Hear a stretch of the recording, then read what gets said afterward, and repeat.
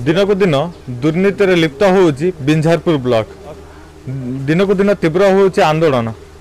ଏହା ପୂର୍ବରୁ ମଧ୍ୟ ଆନ୍ଦୋଳନ ହେଇଥିଲା ଜରି ପଞ୍ଚାୟତରେ ଯାହାକୁ ନେଇକି ତିନି ତିନି ଜଣ ନିଲମ୍ବିତ ସରକାରୀ ବାବୁ ହେଇଥିଲେ ଏବଂ ତା ପରବର୍ତ୍ତୀରେ ସିଙ୍ଗିପୁର ପଞ୍ଚାୟତର ପୂର୍ବତନ ସରପଞ୍ଚ ଅନଶନରେ ବସିଛନ୍ତି। ଆଜିକୁ ପାଞ୍ଚ ଦିନ ସରିକି ଷଷ୍ଠ ଦିନ ହେଲା।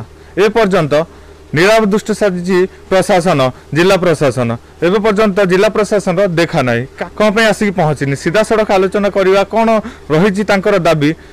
ଯିଏ ମ, ପୂର୍ବତନ ସରପଞ୍ଚ ବସିଛନ୍ତି ନିରଞ୍ଜନ ବେରିଆ ତାଙ୍କ ସହିତ ସିଧାସଳଖ ଆଲୋଚନା କରିବା। ଆଜ୍ଞା ଆପଣଙ୍କର କ'ଣ ଦାବି ରହିଛି? ଆପଣ କ'ଣ ପାଇଁ ବସିଛନ୍ତି ଏଠି? ଯେଉଁ ଅନଶନରେ ବସିଛନ୍ତି କ'ଣ ପାଇଁ ଆପଣଙ୍କ ଦାବି କ'ଣ ରହିଛି? ସିଂପୁର ପଞ୍ଚାୟତରେ ହୋଇଥିବା ନରେଗା ଦୁର୍ନୀତି ଯେଉଁ ନରେଗାରେ ଲକଡାଉନ୍ ସମୟରେ ଶ୍ରମିକମାନଙ୍କୁ ଦିନ ମଜୁରିଆଙ୍କୁ ଏବଂ ଭାଗଚାଷୀମାନଙ୍କୁ କାମ ଯୋଗାଇ ଦେବା ପାଇଁ ସରକାରୀ ବ୍ୟବସ୍ଥାଟା ରାଜ୍ୟ ସରକାରରୁ କେନ୍ଦ୍ର ସରକାର ପର୍ଯ୍ୟନ୍ତ ବ୍ୟବସ୍ଥା ଥିଲା। ସେହି ସମୟ ଭିତରେ ନରେଗା ଯୋଜନାରେ ଯେଉଁ ପ୍ରକାର ଦୁର୍ନୀତି ଆମ ପଞ୍ଚାୟତରେ ହୋଇଛି ଆମେ ମାତ୍ର ଛଅଟି ପ୍ରୋଜେକ୍ଟକୁ ନେଇ ଦାବି ଉପସ୍ଥାପନ କରିଛୁ। ଆମକୁ ମାନ୍ୟବର ଜିଲ୍ଲାପାଳ ଏଇ ଏଇ ଛଅଟି ପ୍ରୋଜେକ୍ଟରେ ଖରସ୍ରୋତା ମହାବିଦ୍ୟାଳୟ ଗାର୍ଲସ ହଷ୍ଟେଲ ଖରସ୍ରୋତା ମହାବିଦ୍ୟାଳୟ ଲେଡିଜି ହଷ୍ଟେଲ ଖରସ୍ରୋତା ମହାବିଦ୍ୟାଳୟ playground earth filling Kakudipadia earth filling ଏବଂ ସିଂପୁର ହାଇସ୍କୁଲ ଆର୍ଥ ଫିଲିଂ ସବୁଠାରୁ ଆଶ୍ଚର୍ଯ୍ୟର କଥା ଡିଏଭି ସ୍କୁଲ ଯେଉଁ ସ୍କୁଲଟି ଆମ ଅଞ୍ଚଳରେ ନାହିଁ ସେ ସ୍କୁଲର ଆର୍ଥ ଫିଲିଂ ଏଇଭଳି ଭାବରେ କେତେ ନଅଟି ପ୍ରୋଜେକ୍ଟ ଏବଂ ମୋ ଗୁହାଳ ଯୋଜନାରେ ଦିଆଯାଇଥିବା ହିତାଧିକାରୀଙ୍କୁ ଚିହ୍ନଟ କରିବା ଏବଂ ସେମାନଙ୍କର ଗାଈ ଅଛି କି ନାହିଁ ଯଦି ଗାଈ ଅଛି ଗୁହାଳ ଦିଆଯାଇଛି ସେମାନେ ପଇସା ଦିଆଯାଇଛି କି ନାହିଁ ଏହି ଦ- ଉଁ, ଦାବି ନେଇ ଆମେ ଜିଲ୍ଲାପାଳଙ୍କୁ ବାରମ୍ବାର ଦାବିପତ୍ର ଦେଇଥିଲୁ। ତା ସତ୍ତ୍ୱେ କର୍ଣ୍ଣପାତ ନ କରିବାରୁ ଆମେ ଷୋହଳ ତାରିଖ ଦି- ଅଗଷ୍ଟ ଷୋହଳରେ ପଞ୍ଚାୟତ ଅଫିସ ସାମ୍ନାରେ ଗଣଧାରଣାରେ ବସିଲୁ। ଏଠି ଦେଖୁଥିବେ ଆପଣ ଆମେ ଅଫିସର ମୁଖ୍ୟ ଫାଟକରେ ବସିଛୁ। ଏ ପା- ଫାଟକ ସବୁଦିନ ଖୋଲା ରୁହେ କିନ୍ତୁ ସେହି ଦିନଠାରୁ ତା ଚାବି ପଡ଼ିଛି। ତା ସାମ୍ନାରେ ଆମେ ବର୍ଷାରେ ଏ ପର୍ଯ୍ୟନ୍ତ ବସିଛୁ।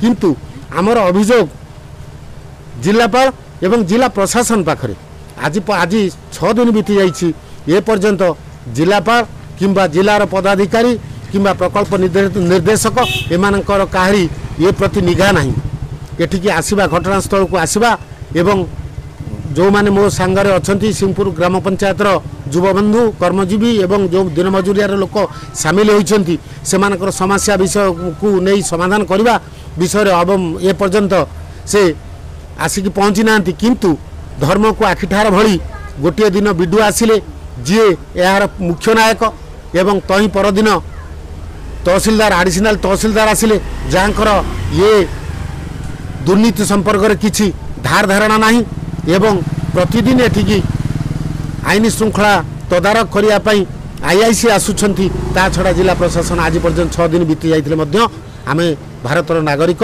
ଓଡ଼ିଶାର ଜନସାଧାରଣ ଏବଂ ସିଂପୁର ସର୍ବଶେଷରେ ସିଂପୁର ପଞ୍ଚାୟତର ଅଧିବାସୀ ଯିଏ ଉତ୍ତରଦାୟୀ ଏ ପଞ୍ଚାୟତର ସେ ହେଉଛନ୍ତି ସରପଞ୍ଚ। ତାଙ୍କର ଦେଖା ସାକ୍ଷାତ ଏଠାରେ ନାହିଁ। ଏହା ହେଉଛି ସବୁଠାରୁ ବଡ଼ ଦୁର୍ଭାଗ୍ୟର ବିଷୟ। ଦେଖନ୍ତୁ ଆପଣ ବସିଛନ୍ତି ଆଜିକୁ ପାଞ୍ଚ ଦିନ ସରିକି ଛଅ ଦିନ ହେଲାଣି। ଆପଣ ଆଗକୁ ଆପଣଙ୍କ ପଦକ୍ଷେପ କ'ଣ ରହିବ? ଆପଣଙ୍କୁ ଛଅ ଦିନ ହେଇଗଲା ଅନଶନରେ ବସିଛନ୍ତି। ଏ ପର୍ଯ୍ୟନ୍ତ ଜିଲ୍ଲା ପ୍ରଶାସନର ଦେଖା ନାହିଁ। କ'ଣ କହିବେ?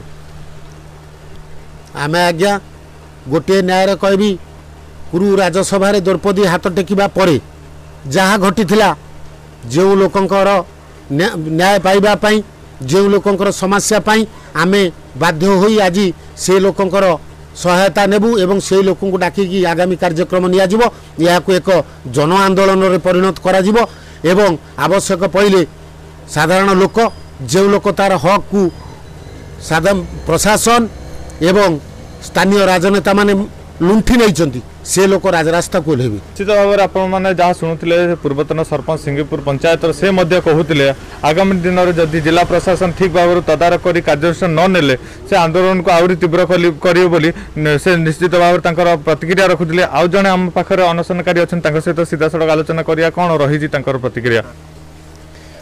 ସାଧାରଣ ମଣିଷ ତା ହକ୍ ପାଇଁ ଲଢ଼େଇ କରୁଛି ଅନଶନରେ ବସିଛି ଅହିଂସାର ପ୍ରତୀକ ମହାତ୍ମା ଗାନ୍ଧୀକୁ ପାଖରେ ରଖି ତାଙ୍କର ନୀତି ଆ- ଆପଣେଇଛି।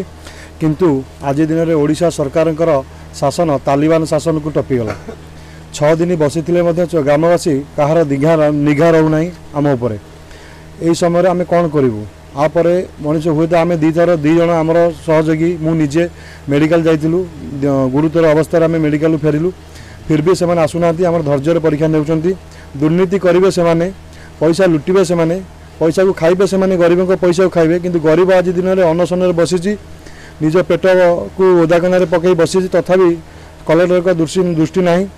ଆମେ ଗଣମାଧ୍ୟମ ଏହା ଜଣାଉଛୁ ଯେ ଆମେ ତାଙ୍କୁ ରିକ୍ୱେଷ୍ଟ କରୁଛୁ ସେ ଆସିକି ଏ ସମସ୍ୟାର ସମାଧାନ କରନ୍ତୁ। ନିଶ୍ଚିତ ଭାବରେ ଆପଣମାନେ ଯାହା ଶୁଣୁଥିଲେ ଯେଉଁମାନେ ଅନଶନକାରୀ ସେ ତାଙ୍କର ପ୍ରତିକ୍ରିୟା ରଖୁଥିଲେ କି ଜିଲ୍ଲାପାଳ ଏହା ଉପରେ ଦୃଷ୍ଟି ଦେଇକି କାର୍ଯ୍ୟାନୁଷ୍ଠାନ ଗ୍ରହଣ କରିବା ପାଇଁ ସେ ମଧ୍ୟ ନିବେଦନ କରୁଛନ୍ତି। ବିଞ୍ଝାରପୁରରୁ ଗୁଲସାନ ନୱାଜ ଅଲି ଖାନଙ୍କ ରିପୋର୍ଟ ଅର୍ଗସ୍ ନ୍ୟୁଜ୍।